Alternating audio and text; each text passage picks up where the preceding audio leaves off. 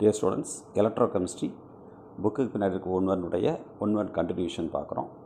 Fifth one word ஒரு electrolytes வரிசையாக கொடுத்துருக்குறாங்க மின் பகுதியை கொடுத்துருக்காங்க KCl KNO three HO HCl NAOC NAOAC என்ஏசின்னு சொல்லி எலக்ட்ரோலைட்ஸ் கொடுத்துருக்குறாங்க. ஒவ்வொரு எலக்ட்ரோலைட்டுக்கும் ஈக்குவலன் கண்டக்டன்ஸ் சமான நிறை கடத்துகிறன்னு கொடுத்துருக்குறாங்க. லேம்டா ஜீரோ கொடுத்துருக்குறாங்க.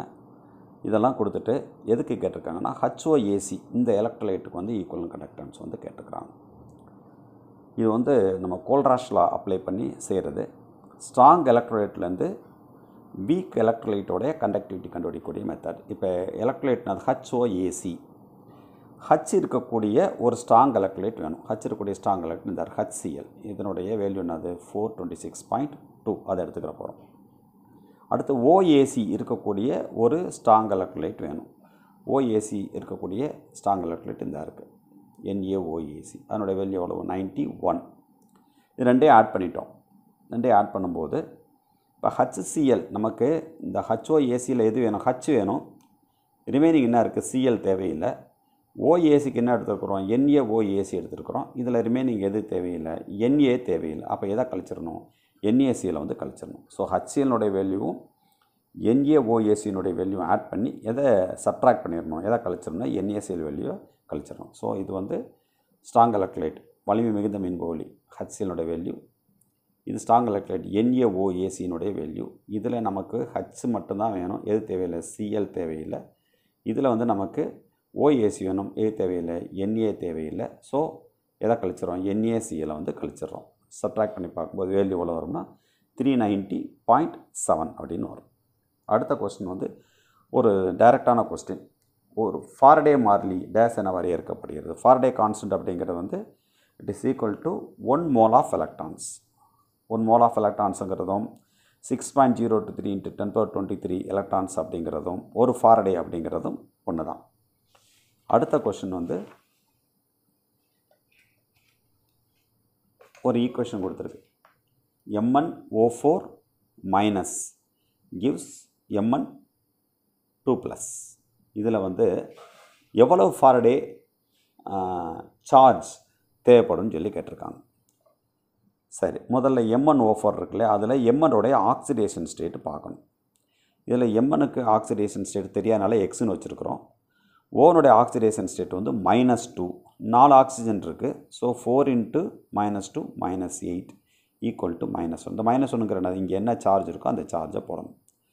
அப்போ X equal to minus one plus eight அப்போ நான் வந்திருக்கு?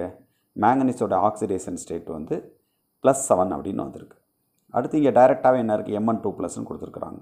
இப்போ மேங்கனீஸ் வந்து எம்என் செவன் ப்ளஸ் ஆக்சிடேஷன் ஸ்டேட்லேருந்து எம்என் டூ ப்ளஸ் ஆக்சிடேஷன் ஸ்டேட்டாக மாறி இருக்குது அப்போது எவ்வளவு எலக்ட்ரான்ஸ் இன்வால்வ் ஆகிருக்கு five mole of electrons involve ஆகிருக்கு ஒரு மோல் எலக்ட்ரானுக்கு எவ்வளோ ஃபாரடே வேணும்? ஒரு ஃபரடே வேணும். இங்கே ஃபைவ் மோல் எலக்ட்ரான் இன்வால்வ் ஆகிருக்கனால என்ன சொல்லணும் ஃபைவ் ஃபாரடே வந்து போட்டிருக்கோம்.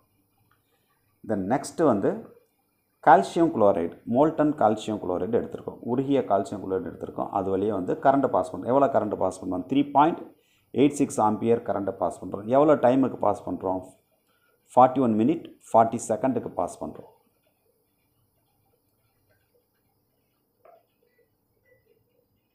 எவ்வளவு கால்சியம் வந்து டெபாசிட் ஆகும் அப்படின்னு சொல்லி கேட்டிருக்கிறாங்க.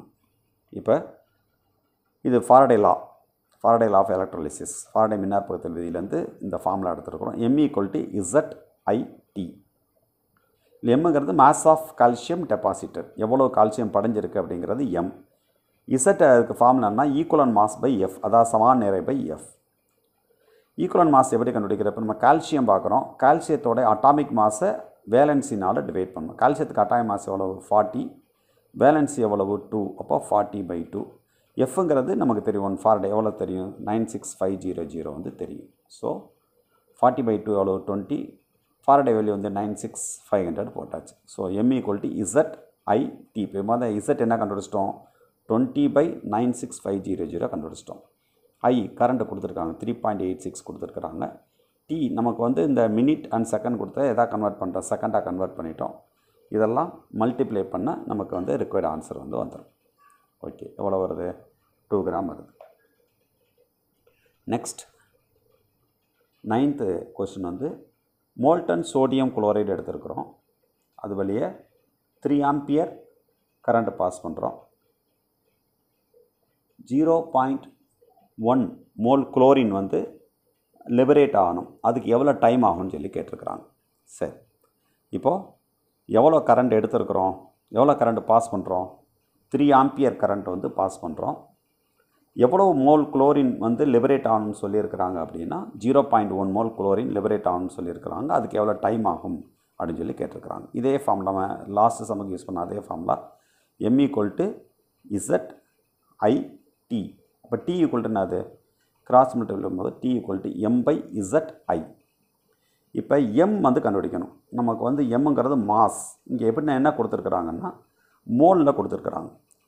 குளோரின் சிஎல் அதனோட அட்டாமிக் மாஸ் வந்து தேர்ட்டி ஃபைவ் பாயிண்ட் ஃபைவ் குளோரினுடைய மாலிகுலர் ஃபார்ம்ல அது சிஎல் டூ அது தேர்ட்டி ஃபைவ் பாயிண்ட் ஃபைவ் வந்து CL two two all multiply பண்ணால் செவன்ட்டி ஒன் அப்படின்னு வந்துடும் இது ஒரு மோல் குளோரினுடைய மாஸ் வந்து செவன்ட்டி ஒன் நமக்கு எவ்வளோ மோல் குளோரின் கொடுத்துருக்குறாங்க? Zero point one mole chlorine கொடுத்துருக்குறாங்க. ஸோ ஜீரோ பாயிண்ட் ஒன்னால் மல்டிப்ளை பண்ணால் seven point one gram so chlorine எவ்வளோ கிராம் டெபாசிட் ஆகுதுன்னா seven point one gram sorry டெபாசிட்டால் liberate ஆகுது. Seven point one gram chlorine வந்து லிபரேட் ஆகும். அப்போ ஏ தெரிஞ்சிருச்சு எம் தெரிஞ்சிருச்சு. Z equal to M by Z I இப்போ இசட் வேணும். இசட்டுக்கு என்னது? ஈக்குவலன் மாஸ் பை எஃப் குளோரினுக்கு ஈக்குவலான மாஸ் வந்து thirty five point five F வந்து எவ்வளோ nine six five zero zero இப்போ நமக்கு எல்லாமே தெரிஞ்சிருச்சு. எம் தெரிஞ்சிருச்சு செவன் பாயிண்ட் ஒன் இசட் தெரிஞ்சிருச்சு thirty five point five by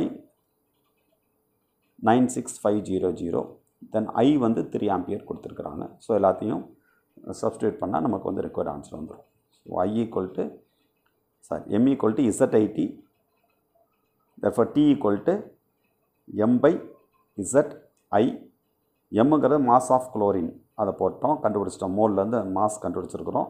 Z வந்து thirty five point five by nine six five zero zero அப்போ இசட் தெரிஞ்சிருச்சு.